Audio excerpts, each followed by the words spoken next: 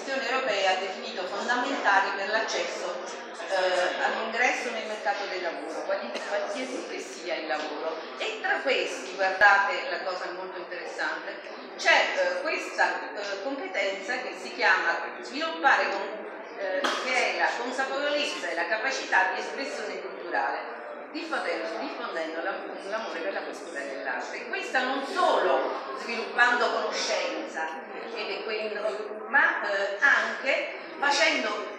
cimentare i ragazzi ed esprimersi in alcune delle arti, in particolare quelle che noi mm, riteniamo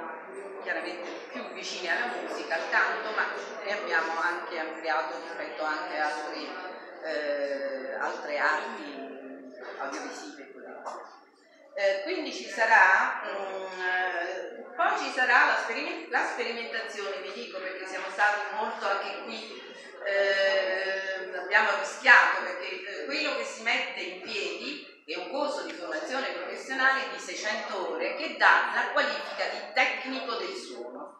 Questa esigenza viene fuori da un, un fabbisogno delle imprese che è diffuso in tutta la regione, ma che particolare potrebbe trovare delle grandi prospettive sia nella, nel Revelio Festival che in tutti gli eventi di cui Patrizia si diceva all'interno dell'auditorio. Questo non vuol dire limitare prospettive di lavoro all'interno della, della città di Ravello, ma su tutta la regione.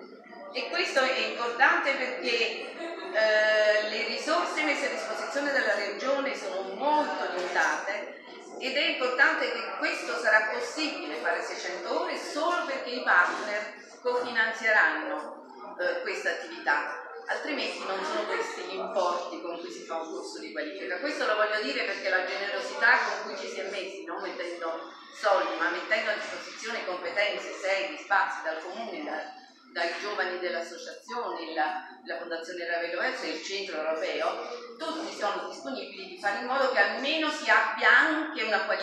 per chi partecipa all'attività. Su questo sarà lanciato un bando al più presto e nei 24 mesi adesso nella riunione che seguirà decideremo diciamo, anche la tempistica per poter